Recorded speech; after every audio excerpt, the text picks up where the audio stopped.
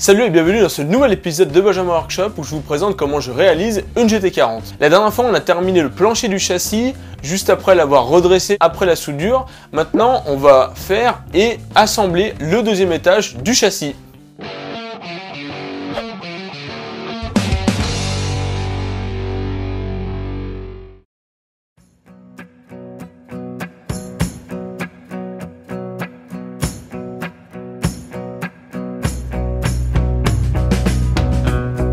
C'est parti pour le deuxième étage du châssis de la GT40. L'avantage c'est qu'il est plus simple que le premier, il possède moins de pièces et surtout il ne comporte que des angles à 90 degrés. Il y a juste à couper à la bonne longueur chaque tube à l'aide du plan.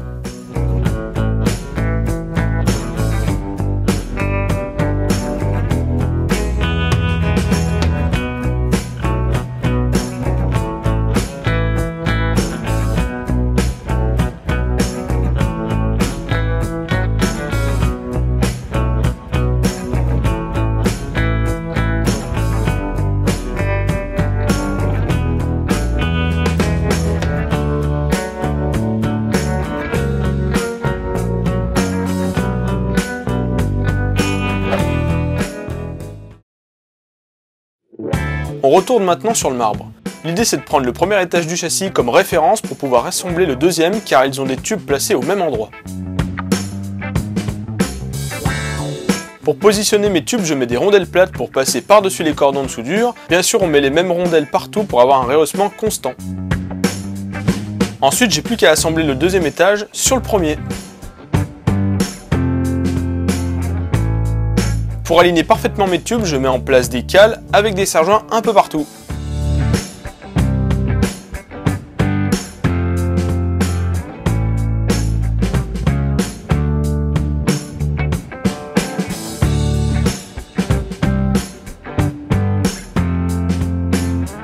A l'aide d'une équerre, je contrôle l'alignement de chaque tube.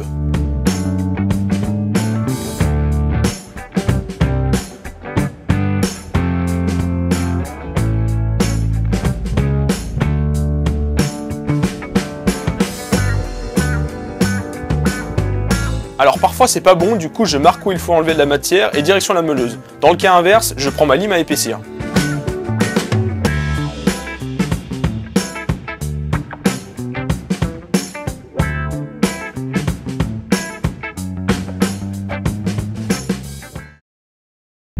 Les tubes sont assemblés, je procède au pointage au poste à souder.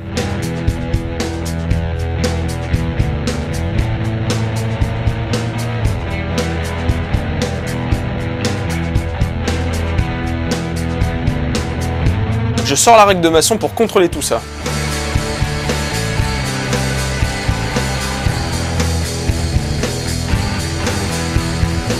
Et visiblement, c'est tout tordu, on sort la grosse masse. Non, cette fois c'est pas tordu, simplement je me suis planté au moment du calage des tubes. Voilà, on dégage les points qui n'étaient pas bons, et pour repointer correctement tout ça, j'utilise la règle de maçon avec plein de serre-joints partout, et on soude.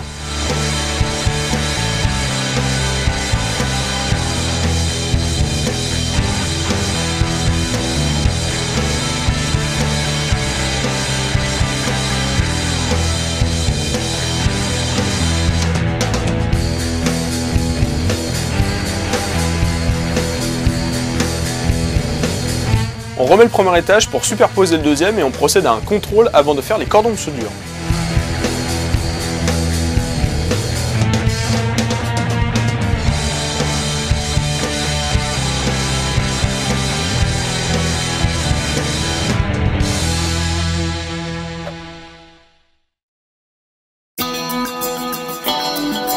Entre temps, je fabrique les 20 colonnettes qui vont servir à lier les deux étages du châssis. Et ça commence par le débitage à la scie à ruban des tubes.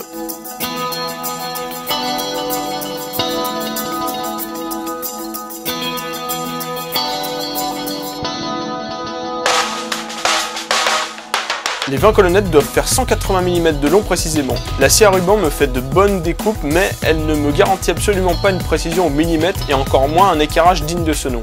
Du coup, on passe sur la fraiseuse. J'ai besoin d'avoir des colonnettes identiques pour assurer un bon parallélisme entre les deux étages du châssis, sans quoi ça va rouler bancal cette affaire. Le passage sur la fraiseuse me permet non seulement de mettre mes colonnettes à 180 mm de long, mais aussi d'avoir des faces perpendiculaires et parallèles entre elles. J'installe la fraise à surfacer et c'est parti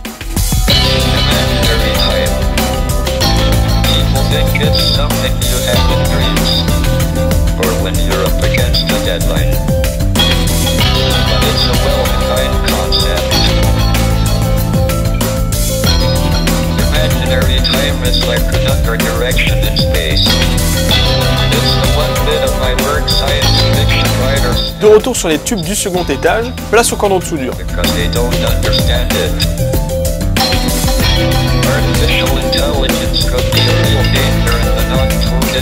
J'en profite pour vous dire que vous pouvez me suivre sur les réseaux sociaux Facebook et Instagram, les liens sont dans la description de la vidéo.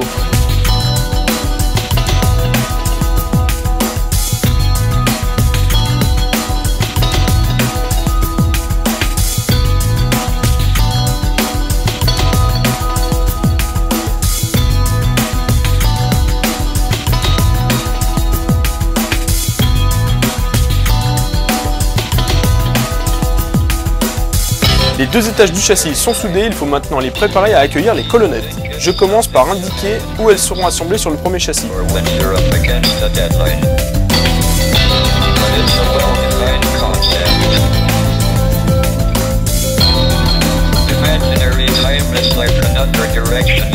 Les cordons de soudure aux endroits marqués doivent être poncés, sans quoi il va m'être difficile de positionner les colonnettes correctement, car il n'y aura pas un bon appui sur la surface.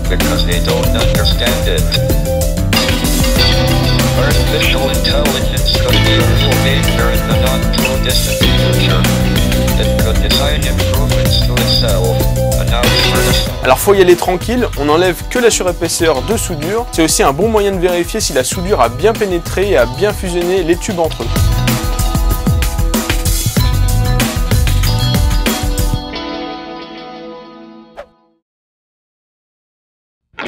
Temps de mettre du volume sur ce châssis de GT40, donc je vais souder toutes les colonnettes sur le plancher du châssis.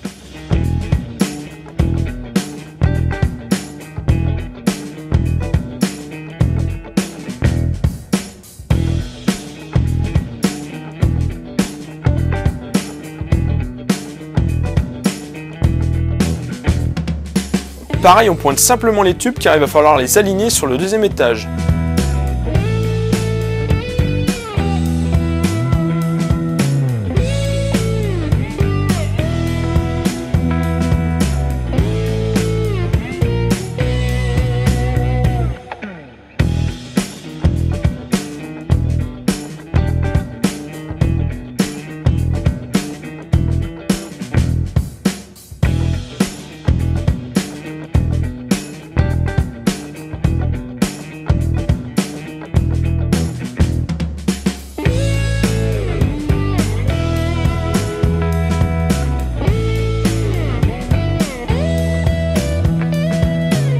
Comme tout à l'heure, je prépare le deuxième étage du châssis pour les colonnettes.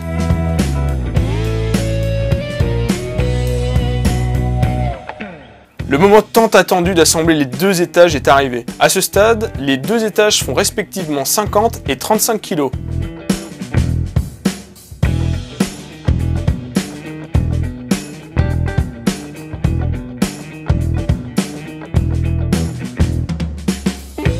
Ensuite, on aligne les colonnettes avec le deuxième châssis et on pointe. On distingue sur la vidéo mes montages au serre-joint. Là, c'était vraiment pas pour faire joli, il fallait redresser les colonnettes pour qu'elles soient à la bonne place. Merci le pointage.